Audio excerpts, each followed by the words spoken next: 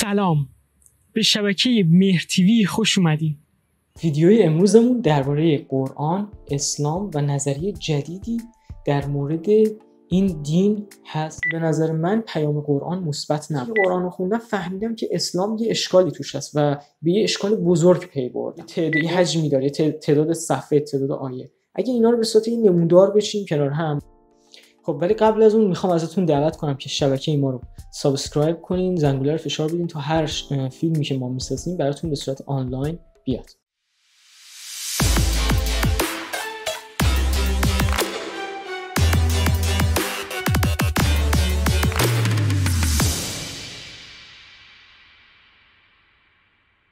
قرآن یک کتابی هست که اگر خونده بشه و فهمیده بشه انسان رو دچار دگرگونی هایی می‌کنه به خصوص افرادی که مسلمون هستن و در دین اسلام بزرگ شدن. مثل خود من که یک زمانی مسلمون بودم و حدود 20 سال در اسلام زندگی کردم. چیزی که عجیبه اینی که بیشتر مردم مسلمون قرآن رو به زبان خودشون نمی‌خونن. یعنی ایرانی ها به زبان فارسی قرآن رو نمی‌خونن به زبان عربی می‌خونن. یا افغان ها به زبان عربی می‌خونن پاکستانی ها به زبان عربی می‌خونن. ولی قرآن می‌تونه ترجمه بشه به زبان فارسی اردو و زبان های دیگه. و این موضوع خیلی عجیبه که چرا این اتفاق افتاده. ولی غیر از این که این عجیب هست این هست که اگر کسی اینو به زبان فارسی بخونه همونطور که من خوندم یه زمانی و خیلی چیزایی رو فهمیدم که برای خودم عجیب بود برای شما هم عجیب خواهد شد. بهتون توصیه می‌کنم که قرآن رو یک بار فارسی از ابتدا تا انتها بخونید. نه به این صورت که جسته گریخته فقط یک صفحه ای را از اون وسط انتخاب کنید و بخونید. بلکه به صورت خیلی منظم از ابتدا تا به انتها کتاب رو بگیرید بخونید. به زبان خودتون. تا متوجه بشین که واقعا درون این کتاب چی هست. آیا یک پیام مثبتی داره یا اینکه پیامش مثبت نیست؟ من وقتی که داشتم قرآن رو میخوندم چون من حدودا میشه گفت 20 سال رشتم ریاضی بود و به ریاضی خیلی علاقه داشتم. وقتی که همینطور جلو می‌رفتم توی خوندن قرآن به تعداد صفحه ها به تعداد آیه ها به, اعداد زیاد توجه می‌کردم. چون رشته من ریاضی بود عدد می‌دونستم عدد زیاد بلد بودم. و دنبال یه, یه سری چیزای ریاضی هم برای ذهنم بودم که واقعا یه چیزایی چون برام عجیب بود. از اول شاید وقتی شروع کردم بخوندن اینو متوجه نشدم. ولی وقتی یه ذره رفتم جلوتر فهمیدم یه چیزایی توی قرآن عجیبه. مثلا فرض کنید وقتی که سوره اول رو بزرگترین سوره رو میخوندم یعنی سوره بقره حالا بعضیاتون شاید بگین که مثلا سوره حمد اولین سوره قرآنه. ولی من فکر می‌کنم سوره حمد مثل یه جور مقدمه کتابه. فقط یه صفحه است گذاشتن که مثلا برای شروع.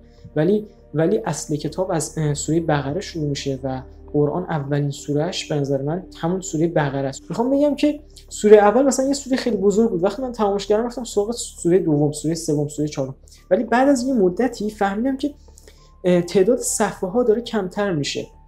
یعنی مثلا اوایل مثلا یه سوره رو میخوندم سوره اول مثلا میخوندم 50 صفحه بعد بعدیش 50 صفحه بود. ولی بعدیش مثلا می‌شد 40 صفحه. دو سه تا سوره 40 صفحه‌ای بود. بعد می‌شد سوره 30 صفحه. بعد می‌شد چند تا سی صفحه‌ای بعد می‌شد چند تا 20 صفحه‌ای بعد چند تا سوره مثلا 15 صفحه‌ای بعد صفحه‌ای 10 صفحه‌ای. همینجور هی می‌رفت جلو و تعداد حجم کتاب تغییر می‌کرد. یعنی حجم سوره ها عوض می‌شد. حالا میشه گفت بعضی جاها شاید حتی میشه گفت به صورت کلی اگه بگیم نه به صورت جز جز ولی به صورت کلی تعداد آیه ها هم کم می‌شد. شما ببینید بزرگترین سوره قرآن سوره بقره است.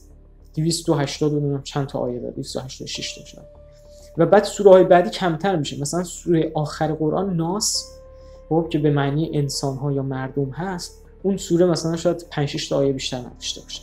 پس این یه سیر نزولی رو داره خب؟ بعد اینو که من رفتم دیدم فهمیدم این نگاه کردم. البته اگه به صورت جزئی نگاه کنید بعضی جاها خب سوره ها بعضی تعداد آیه‌هاشون زیاد یا کم میشه. ولی سیر کلیش به سمت پایینه. یعنی از ابتدا سوره ها حجمش تعداد صفحاتش حجم آیه هاش یعنی هر آیه مثلا طولانی خیلی بزرگه و تعداد صفحه ها زیاد میشه و حجم مثلا یه سوره خیلی زیاده. بعد که میایم پایینتر حجم سوره ها کم میشه. شاید بعضی جاها این یه مقداری به هم, هم بریزه یه مقدار بالا پایین هم بشه. ولی بازم سیر کلیش نزولی. یعنی شما اول می‌بینی سوره هایی که مثلا 50 صفحه 40 صفحه بعد می‌رسه به 20 صفحه 20 صفحه بعد می‌رسه به 10 صفحه بعد می‌رسه به یک صفحه یک صفحه بعد آخر دیگه سوره هایی داره که مثلا نصف صفحه 4 آیه 3 آیه اینجوریه. خب؟ پس یه سیر نزولی رو توی قرآن داری می‌بینی. خب؟ از نظر حجم و تعداد و اینا. بعد خب من مثلا یه سه چیزایی دیگه از قبل می‌دونست برای من عجیب بود. یعنی این یعنی چی؟ خب مثلا نگاه می‌کردم این سوره مثلا 200 آیه داره. اسم سوره چیه؟ گاف.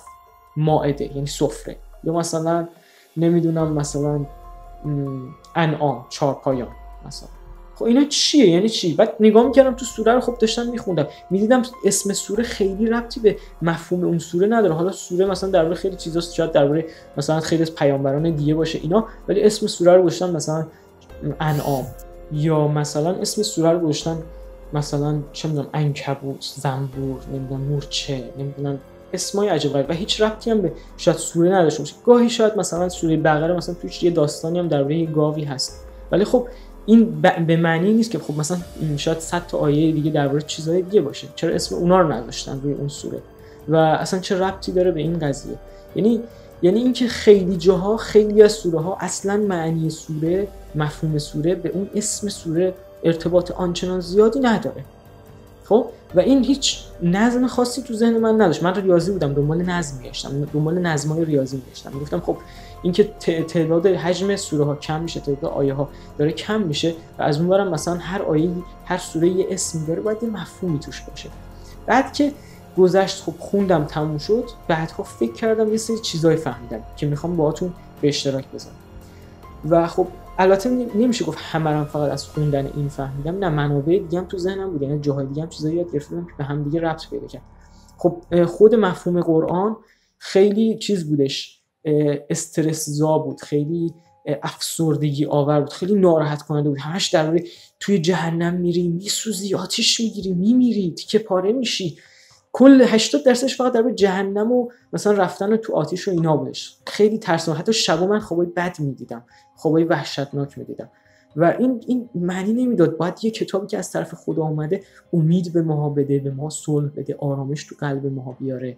باید یه چیزی باشه که ما رو خوشحال کنه. نباید ما وحشت کنیم نباید بترسیم نباید شب خواب بد ببینیم. خدا باید یه راه خوب برای ما گذاشته باشه. ولی نه قرآن اینجوری نبود. یعنی مفهومش خیلی ترسناک وحشتناک و خیلی دردآور بود. و هیچ نکته مثبتی من پیدا نمی‌کردم فقط افسرده کننده بود. بعد خب خیلی چیزا رو از روی اینا فهمیدم. یعنی فهمیدم که مثلا کتابی که خب اینجوری افسردگی آور خیلی ناراحت کننده است. ما می‌بینیم تو ایران مسلمان مثلا یک ماه فقط عزاداری می‌کنن برای امام حسین. نمیگم بعده نمیگم خوبه. من فقط می‌خوام تحلیل کنم. از نظر ذهنی از نظر ادبیاتی قرآن رو می‌خوام تحلیل کنم یه چیزایشو خب البته من فکر می‌کنم که منفی هست ولی خب در کل نمی‌خوام توهین بشه به دین کسی و اینا. ولی دارم یه چیزی رو میگم که عقلی و منطقیه. و از اون خب من بعد از این مدتی که قرآن رو خوندم فهمیدم که اسلام یه اشکالی توش هست و به یه اشکال بزرگ پی بردم. خب یعنی فهمیدم که مثلا خب خیلی منفیه یکیش. یکیش اینه که منفیه. دو اینکه افسردگی آوره. یکی اینکه هیچ راه امید و نجاتی توش نیست. بیشتر عذابه عذاب ناراحتیه. هیچ چیزی نیست. باید ما رو خوشحال کنه قرآن ولی من خوندنش باعث نشد من خوشحال بشم. و خیلی چیزای یعنی آرمان رو فهمیدم که اسلام درست نیست. یعنی تا قبل از اینکه قرآن رو به زبان فارسی بخونم خودم مسلمون بودم. خودم اعتقاد داشتم علاقه داشتم به اسلام. ولی وقتی خوندم که بفهمم که خوندم که بیشتر خوشم بیاد خوندم که بیشتر مسلمان خوبی باشم خوندم که بهتری بشم مسلمان بهتری بشم. ولی وقتی خوندمش فهمیدم که انگار یه چیزی اشتباه است. اصلا کتاب خوبی نیست. اصلا ناراحت کننده است. استرس افسرده آوره. افسردگی آوره. این اصلا خوب نیست. و فهمیدم و میشه گفت یه جوری از اسلام اومدم بیرون. فهمیدم دارم اشتباه. و اسلام رو باید یه جوری بشه.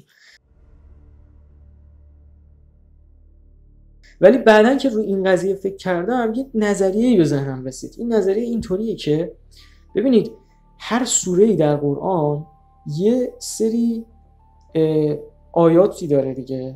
یه تعداد یه حجمی داره. یه تعداد صفحه تعداد آیه. اگه اینا رو به صورت نمودار بچیم کنار هم به تعداد بزرگترین سوره ها به کوچکترین سوره ها بکشیم کنار هم می‌بینیم که انگار یه نظم ریاضی تو این هست. نظمش اینجوری هست که انگار همه موجودات رو حالا همه که نه بعضیش رو بعضیش که مهمه مثلا اومدن به ترتیب گذاشتن و اونایی که برای خودشون جالب بوده. حالا اون کسایی که این قرآن رو نوشتن اون موجوداتی که این قرآن رو درست کردن.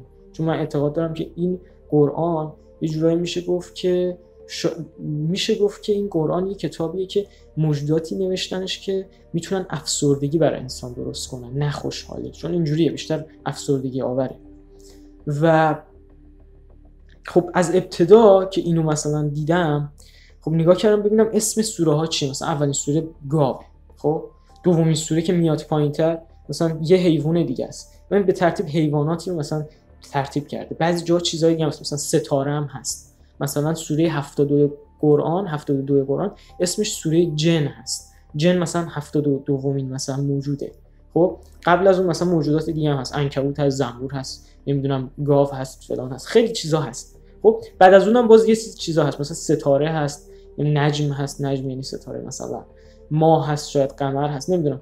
ولی همینجوری سوره هایی رو به ترتیب نوشته خب؟ و بعد در نهایت یکی از سوره ها کوچکترین سوره مثلا کوسره که میگن درباره دختر حضرت محمده و خب اینم نمادی از زنه خب؟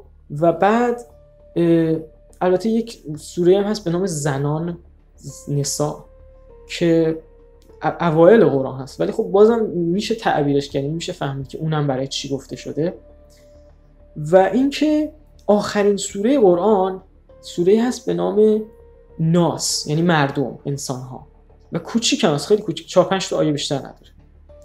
من به این نتیجه رسیدم که این یک سیستم ارزیابیه یه سیستم rating rate کردن یعنی درجه بندیه. یه سیستم درجه بندیه داره درجه بندی می‌کنه. میگه آقا گاو ارزشش از همه موجودات بیشتره. خب شما می‌بینید توی هند گاو پرستن شیطان پرستن. شیطان پرسته گاو دوست دارن. مثلا نمادشون یه بوز اینجوری دو تا ستاره می‌ذارن یه ستاره از شبیه بوزه و یا گاو و یا حیوانای اینجوری میپرستن. دیدم خب اولین سوره قرآن گاوه بعدش هم چند تا حیوانه. و بعد میاد مثلا می‌رسه به سوره 72 میشه جن. خب؟ و بعد این عدد 72 هم توی چیزای فراماسونری خیلی عدد مهمیه. یعنی عددی که مثلا 72 خیلی براشون مهمه. من فهمیدم اینا یه ریتینگی کردن. بی ارزش ترین موجود توی دنیا در نظام فراماسونری همون انسانهای مردمه. یعنی اونا یک مثلث قدرتی دارن. در 313 یا 312 تا خانواده ثروتمند جهان هستن. و همینجوری میاد پایینتر دولت ها میاد مثلا طبقه پنجم ششم پایین دولت ها هستن که اونا کنترل میشن توسط فراماسونری. و بعد میاد پایینتر در پایین ترین طبقه طبقه کارگر مردم کسایی که روشون سوار میشن هستن که به این میگن یک معماری. و معماریش هم همینه یک سیستمی رو برای جامعه ما درست کرد. خب پس این کتاب قرآن یک درجه بندی بین موجودات می‌کنه که ما گاو به عنوان یه موجودی علاقه داریمش و اون موجود اول جهان. بعد از اون مثلا چون چهار پایانه. بعد از اون حالا مثلا چیزهای دیگر گذاشته. و بعد در نهایت می‌رسه آخرین موجودی که در جهان ارزش داره برای اونا به عنوان کارگر شیطان محسوب میشه انسان ها مردمن. بذاریمش آخر. به خودشون میگن بذاریمش آخر بذاریم سوره آخر. چهار تا آیه هم براش می‌ذاریم ارزش انسان ها به همین تعداده. گاو ارزشش اونقدر 286 و ارزش انسان مثلا 5 تا آیه است 6 تا آیه است. خب؟ و این یک درجه بندی هست. و این نظر به ذهن من خیلی وقت بود که رسیده بود و خیلی بهش فکر می‌کردم. زنها رو حتی کم بیارن. یعنی مثلا زنان برای اونا یک بعد از گاو می‌ذارن. یعنی زنان بعد از چهار پایانه یعنی ارزش زن از یک الاغ یک گاو کمتره برای اونا. و می‌بینید که سوره اول مثلا گاوه بعدش چهار پایانه بعد نساء سوره زنان مثلا. سوره سوم چهارم قرآن میشه. یعنی چی؟ یعنی که مثلا ما به گاو ارزش میدیم به چارپا ارزش میدیم به غذا ارزش میدیم ولی به زن از اون کمتر ارزش میدیم. خب می‌بینی که در اسلام زنان خیلی بی ارزشن یعنی میکننشون توی گونی توی چادر میگن اصلا بیرون نه یا حرف نزن. فقط چیزی که هست که از ازت استفاده جنسی می‌کنیم هر موقع خواستیم و بعدش هم باید بچه بیاری و دیگه غیر از این تو حق نداری حرف بزنی. یعنی با زن این برخورد می‌کنه خب اسلام برخوردش با زن همینه. بیشتر از این دیگه نیست. خب این نشون میده که نظریه من درسته. یعنی اینکه زن رو گذاشته بعد از حیوانات و بعد از اینکه نمی‌دونم آخرین موجود کوچکترین سوره قرآن کوسره که میگن درباره حضرت فاطمه است. یعنی درباره دختر درباره زن. یا کوچکترین و بی ارزش ترین مثلا چیزو براش گذاشتن. سه تا آیه داره. سه یعنی عدد 286 رو میدن به گاف سه رو میدن به زن. یعنی اصلا ارزشی نداره. خب؟ و این اینا رو که من تو ذهنم چیز می‌کردم یک نظریه‌ای بزنم مثل که جالب بود و می‌خواستم با شما به اشتراک بذارم. نظراتتون رو توی کامنت ها بنویسین. می‌دونم خیلی ها میان اونجا فوش میدن حرفای بدی می‌زنن. مهم نیست بنویسین. هر چی دوست دارین بنویسین. من این فیلم رو براتون آپلود می‌کنم. اگه دوست دارین عضوی از خانواده ما باشین شبکه رو subscribe کنین like کنین share کنین و زنگوله رو فشار بدین. هر ویدیویی براتون ساختم براتون بیاد در لحظه و ازتون تشکر می‌کنم که تا اینجا ویدیوی من رو نگاه کردین. خیلی ممنون.